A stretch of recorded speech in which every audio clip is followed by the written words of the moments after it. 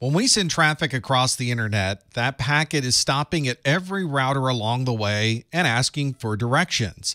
The directions on where that packet should go are contained within a routing table. Every router has a list of directions, and when a packet is inbound, the router evaluates the destination IP address and then determines what the best route might be based on this predetermined list of routes. The packet then makes its way to the next router and that router performs the same lookups to its routing table and determines where its next route might be.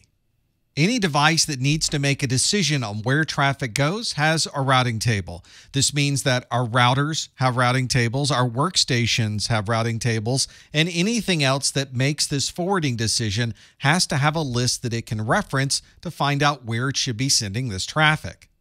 When these frames traverse a router, we refer to that as a hop. Whenever we talk about what the next hop might be for a particular piece of traffic, we're referring to what router this traffic is going to. Whenever we hit that destination router or destination gateway, that is the next hop in the communication. If you look at the routing table within a single router, that router doesn't have to know the entire path from point A to point B. It only has to know what the next hop will be to get that packet on its way. You'll find that there are routes listed in the routing table that are specific to the locally connected interfaces, but very often there can be a default route that would be once you go through every possible option and none of those match the destination, use this particular link as the default. As you can imagine, when there are many different routers and many different configurations, sometimes you can create a loop. That would be where router A says to send the traffic to router B, Router B says to send the traffic to router A, and then the process keeps repeating over and over again. In order to identify and resolve this type of loop, IP version 4 has a mechanism called time to live. There's a counter inside of the IPv4 packet, and every time it hits a router, that number decreases by one. Once that number gets to zero, the packet is discarded by the router. There's a similar function within IPv6 called a hop limit. So although we might accidentally configure a router to create a routing loop, we can count on the time to live and a hop limit to discard that traffic rather than constantly having it cycle through the network around in a circle indefinitely. When you're configuring a router, you may be setting it up for a dynamic routing protocol, so the router determines what the best routes might be, or you might be configuring this manually with static routes, and you would configure and tell the router where the destination should be. Every router needs to be configured with some type of routing table so that any inbound communication knows where to go as its next hop. A router that's not configured properly or has an incorrect next hop will end up sending traffic down the wrong part of the network, or it may create a routing loop where traffic simply bounces back and forth until it's discarded by the router. As you can imagine, it would not be possible to configure a single router with every possible destination in the world of where traffic might go. In order to simplify these routing tables, you would commonly add a default route. This is a route that is used when nothing else in the routing table happens to match. And instead of simply dropping that packet because there's no destination to that particular route, you would instead send it out this default connection. You might sometimes see this referred to as a gateway of last resort. And if you're looking at a router that might be at a small remote site, you might see that it only has a default route. The default route would say that anything that's going into this router should be sent out that connection to the internet, which would go to the rest of the world. And we commonly define these default routes with a route of 0.0.0.0 slash 0. As you can imagine, adding a default route can greatly simplify the configuration of a routing table, especially if you're manually configuring these routes. So you might configure a dynamic routing protocol inside of your router, but you might also add a default route to cover any of the instances where a specific route can't be found. If you configure a dynamic routing protocol, then it's really up to the protocol to determine what the best route might be. And different protocols have different ways of making this determination. If you were to configure a router with RIP version 2, OSPF, or EIGRP, you may notice that there are differences between the routing tables for each of those dynamic routing protocols. The way that these routing protocols would grade or rank these different routes is by using a metric. Each routing protocol has its own method of calculating metrics. So the metrics you get with RIP version 2 are different than the metrics that are calculated by OSPF and EIGRP. These metrics are useful when you run into things like redundant routes, where there may be multiple ways to get from point A to point B. By determining what the lowest metric is, the router can then make a decision on what the best route might be to that remote site. Generally speaking, a metric that is the lower value is the best one. So a metric of 1 is a better metric than a value of 2. Let's look at a network diagram that has a computer, it has a router and a second router, and let's see what the differences are in routing tables between all three of those devices. Let's start down here with this laptop. The IP address of this device is 192.168.1.22. You can see that it's on a network of 192.168.1.0 slash 24, and it also has an interface on this router of 192.168.1.1. The routing table of that laptop is shown here. You can see that there are a number of different destinations, the gateway that would be used to send traffic to that destination, the interface that that traffic would exit on for that particular device, and a metric value that determines how we would rank those particular routes. When the next route is being calculated, the routing table is examined to determine what the most specific route might be. So if traffic was being sent to 192.168.1.1 from this laptop, we would look at this routing table and see which one of these connections matches 192.168.1.1. We can see that the default route of 0.0.0.0 slash 0 is very non-specific, so that is certainly not the most specific route. We do have a loopback destination inside of this device. That's 127.0.0.1 slash 8. And then we have three more routes that are listed. These are all part of this local network of 192.168.1.0 if we're sending traffic to anything on our local network. We might be sending traffic to ourselves, in which case we use 192.168.1.22 slash 32, which means that we're sending it to ourselves because that is our IP address. And there's also a broadcast address or broadcast destination of 192.168.1.255, and that is also sent out our local network to the rest of the local subnet. Let's say that we were sending traffic from this laptop to a location that's not specifically listed in this routing table. In this case, we would use our default route of 0.0.0.0 slash 0 because that particular destination matches anything that's not specifically listed in our routing table. To get to that destination, we would use a gateway address or a next hop of 192.168.1.1. So anything that's sent to that network would be sent directly to this router interface, which is 192.168.1.1.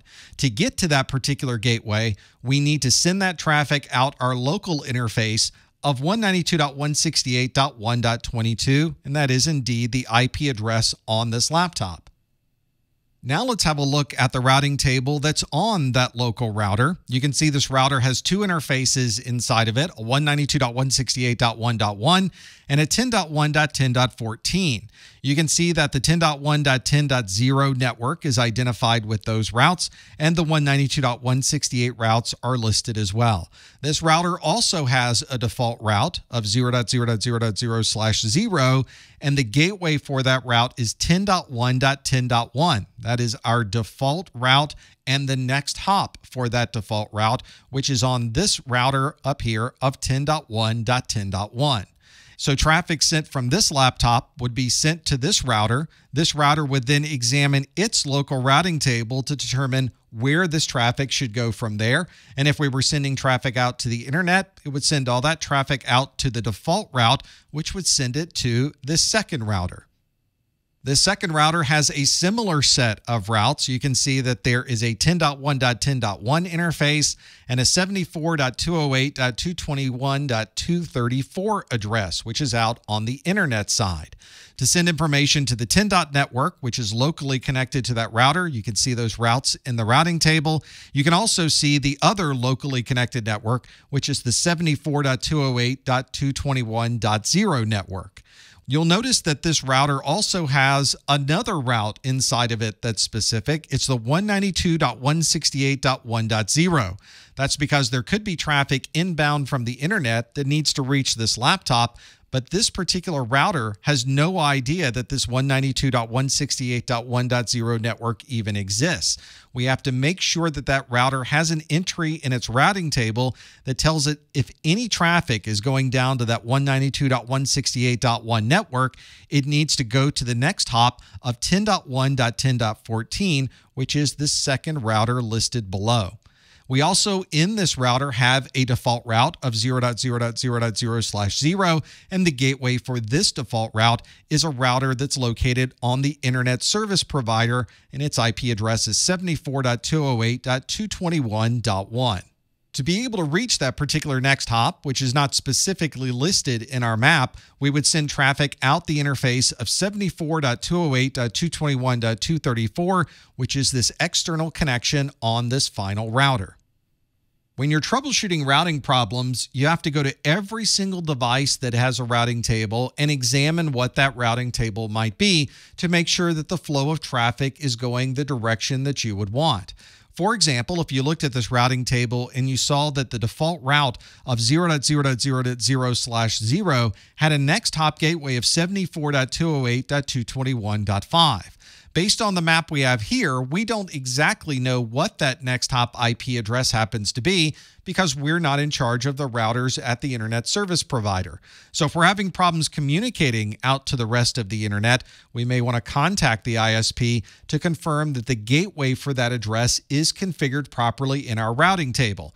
And if it isn't, we'll need to make changes to this routing table that points that default route to the proper gateway at the ISP.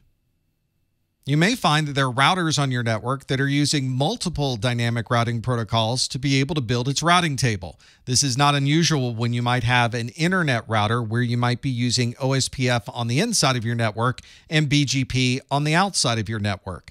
Since we're using two different routing protocols, we're going to have completely different types of metrics that help determine where the next hop might go. And we can't compare the metrics across these different routing protocols because they use completely different algorithms to be able to make these determinations. So the question would be which route do we use when we have this type of conflict? Fortunately, there is a tiebreaker. This tiebreaker is an administrative distance. This is used by the router to determine what routing protocol has priority over another.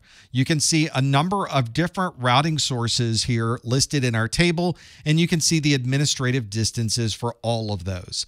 For the purposes of the Network Plus, it's not necessary to memorize these administrative distances, but it's useful to see what the process might be when making a determination of what source you would use. For example, if it's a locally connected route, which means it's an interface that's plugged directly into our router, then that is really the best hop that you would use. It has an administrative distance of zero.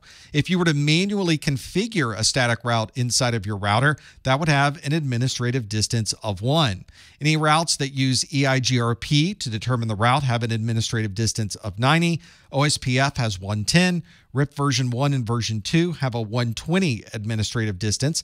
A DHCP default route uses 254, and an unknown source, which means it's one not listed or one unknown by the router, has an administrative distance of 255. Obviously, the routes that are determined using a source that has a very small administrative distance has priority in the routing table. It's not enough to know where the next hop might be. We also have to set priorities over the type of traffic that's going over our networks.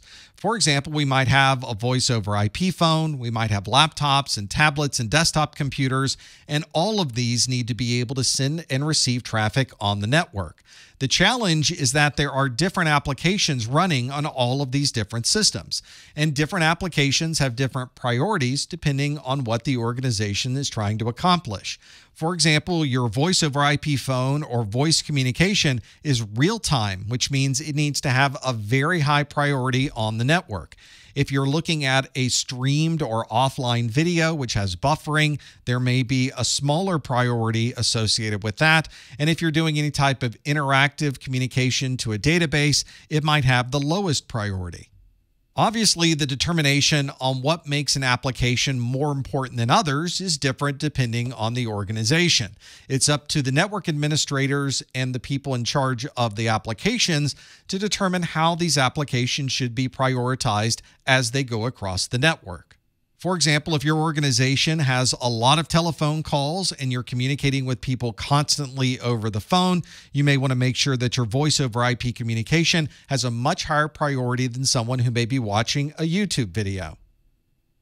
The method for prioritizing traffic on the network is generically called traffic shaping. You might see this also referred to as packet shaping. This allows you to set priorities for different applications based on how much bandwidth they may be using or the data rates that are used on the network. And you could set different applications to have a higher priority than others. So, for example, an IP phone may have the highest priority, and you might have normal priority for a file transfer or a mail communication. We sometimes refer to this as configuring the QoS or the quality of service for the different applications.